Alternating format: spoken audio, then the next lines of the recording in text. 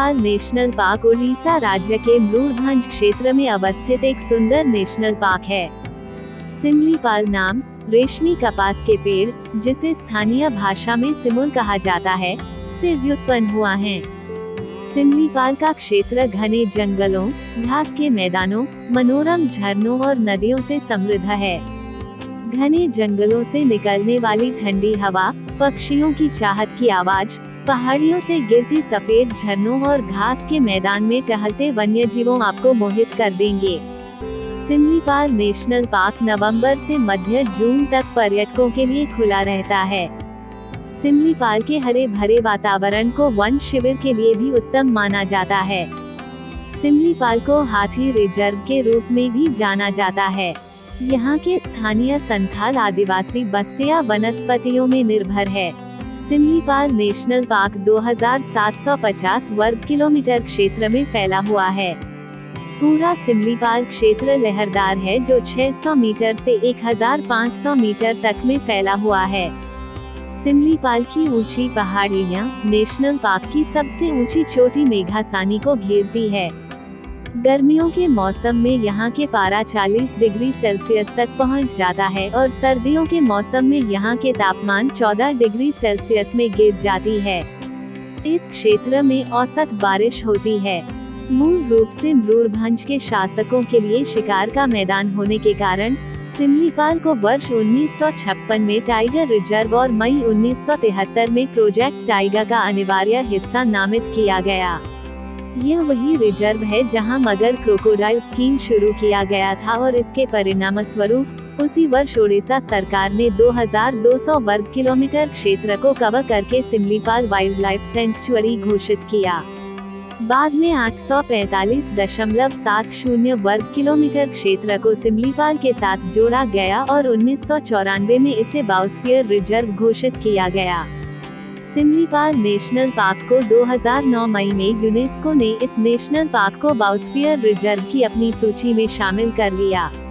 लेकिन दुर्भाग्यवश यह भारत के 15 बाउस्फियर रिज़र्व में से एक होने के बावजूद भी अभी तक पूर्ण नेशनल पार्क के रूप में घोषित नहीं किया जा सका है। इसका मुख्य कारण यह है कि इसके अंदर बसे हुए इकसठ गाँवों में रहने वाले लगभग दस हज़ार आबादी जो सिमलीपाल के विकास में मानवीय हस्तक्षेप लाती है। आज सिमलीपाल नेशनल पार्क 2750 वर्ग किलोमीटर क्षेत्र पर फैला हुआ है। उचित संरक्षण और बेहतर आवास के कारण सिमलीपाल नेशनल पार्क वन्य जीवों के लिए सबसे सुरक्षित स्थान है। इस नेशनल पार्क में पाए जाने वाले वन्य जीव इस प्रकार है। बाघ, तेंदुआ, गौर, हाथी, लंगूर भोगने वाला हिरण, चित्तीदार हिरण, स्लथ, नेवले, उड़ने वाली गिलहरी, साही कछुआ, मॉनिटर, छिपकली अजगर सांभर, पेंगोलिन, चार सिंग वाला हिरन मगरमच्छ। सिमलीपाल नेशनल पार्क में लगभग 230 प्रजातियों से अधिक पक्षियों की प्रजाति पाई जाती है। जैसे कि grey hornbill, Indian pied hornbill, Malabar pied hornbill, Indian trogon red jungle fowl, hill myna, मोर Alexandrine parakeet, crested serpent eagle. Simlipal national park में पाए जाने वाले वनस्पतियाँ। सिमलीपाल नेशनल पार्क में 102 से अधिक प्रकार की पौधों के साथ साथ एक हज़ार छिहत्तर से अधिक प्रजातियों के विभिन्न प्रकार के पेड़ पौधे और जड़ी बूटियाँ पाई जाती है। उष्णकटिबंधीय नम चौड़ी पत्ती वाले जंगल और उष्णकटिबंधीय नम पर्णपाती वन के साथ साथ शुष्क पर्णपाती पहाड़ी वन और उच्च स्तर के साल वन है। बड़े बड़े घास के मैदान सवाना शाकाहारियों लिए चरागाह और मांसाहारियों के लिए छिपने की जगह बनाती है। यह स्थानीय आदिवासी लोगों के लिए कमाई का एक स्रोत है। इस नेशनल पार्क से आदिवासी लोग औषधीय गुणों वाले जड़ी बूटी और सुगंधित पौधे संकलन करते हैं। सिमलीपाल नेशनल पार्क के आसपास के आकर्षक पर्यटक स्थल। Joranda falls. Joranda falls Simlipal national park क्षेत्र में सबसे आकर्षक पर्यटकीय स्थल है।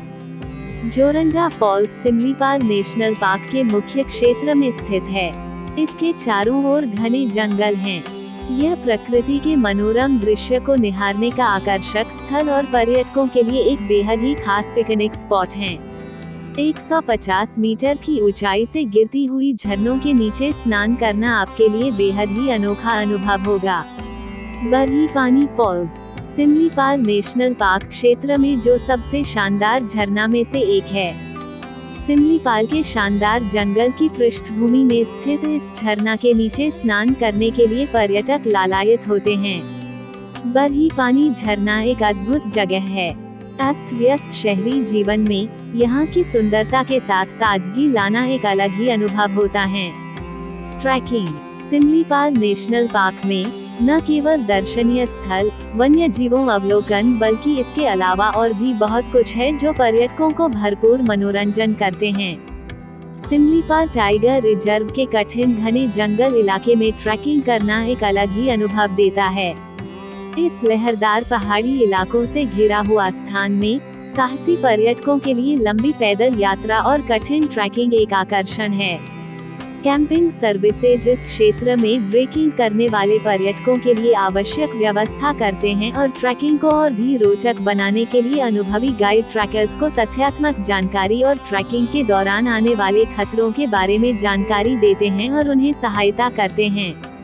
स्थानीय आदिवासी समाज के जीवन को नज़दीक से जानना। उड़ीसा के आदिवासी समाज के जीवन और संस्कृति को सीखने और जानने के लिए सिमलीपाल क्षेत्र एक आदर्श स्थान है।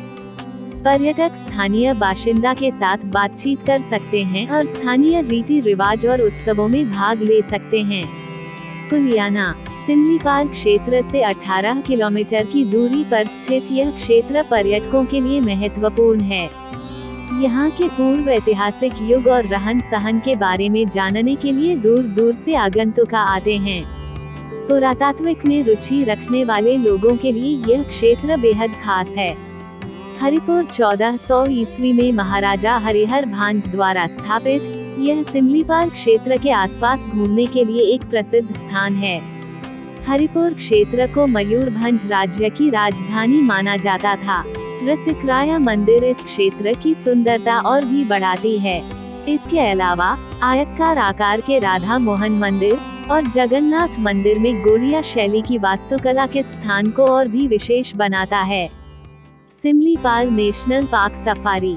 Simlipal national park safari में जाने के लिए जंगल प्राधिकरण द्वारा चार जीप उपलब्ध है। पार्क खुलने का समय 1 अक्टूबर से 15 जून तक है। सिमलीपाल नेशनल पार्क कैसे पहुँचे? हवाई मार्ग से सिमलीपाल के लिए सबसे निकटतम हवाई अड्डा भुवनेश्वर 270 किलोमीटर के दूरी पर स्थित है। और कोलकाता 240 किलोमीटर की दूरी पर स्थित है।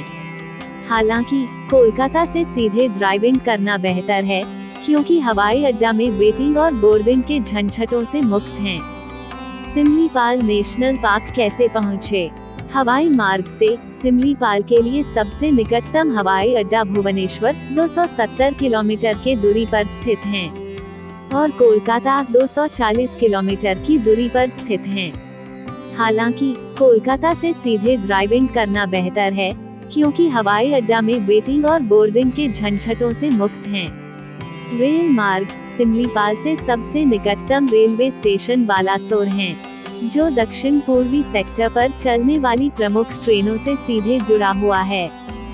सड़क मार्ग, सिमलीपाल नेशनल पार्क तक पहुँचने के लिए सबसे सुलभ बिंदु है भुवनेश्वर, जो 270 किलोमीटर दूर और कोलकाता 240 किलोमीटर दूर, बालासोर से 55 किलोमीटर दूर और पीठाबाता से केवल 16 किलोमीटर की दूरी पर है। सिमलीपाल नेशनल पार्क के प्रवेश द्वार बारीपदा को मुख्य प्रवेश द्वार के रूप में भी माना जाता है, जो मयूरभंज जिला का केंद्र बिंदु भी है। यह एन एच छह और पाँच के जंक्शन पर स्थित है। यहाँ से सिमलीपाल नेशनल पार्क पहुँचने के लिए आसानी से टैक्सी या कैब मिल जाता है। सिमलीपाल में होटल, भारत में मंदिरों की भूमि कहे जाने वाले, उड़ीसा भव्य प्राकृतिक सुंदरता से समृद्ध है। उड़ीसा पर्यटन में कई जंगल, लॉज और गेस्ट हाउस है, जिन्हें भरपूर सेवाओं के साथ तैयार किया गया है। जहाँ पर आप नेशनल पार्क की यात्रा के दौरान सहज तरीका से आश्रय ले सकते हैं।